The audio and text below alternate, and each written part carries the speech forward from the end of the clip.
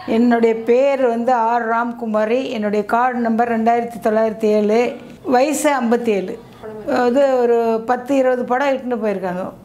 Auditing Seenu whistle அடிக்கிற மாதிரி வேடிக்கை பார்க்குற மாதிரி சாவு சீனு சம்பளம் வந்து ஒரு நாளைக்கு முந்நூறுரூபா கொடுத்துருக்காங்க. தெரிஞ்ச லாங்குவேஜ் தெரிஞ்ச லாங்குவேஜ் வந்து கன்னடா ஹிந்தி தமிழ்.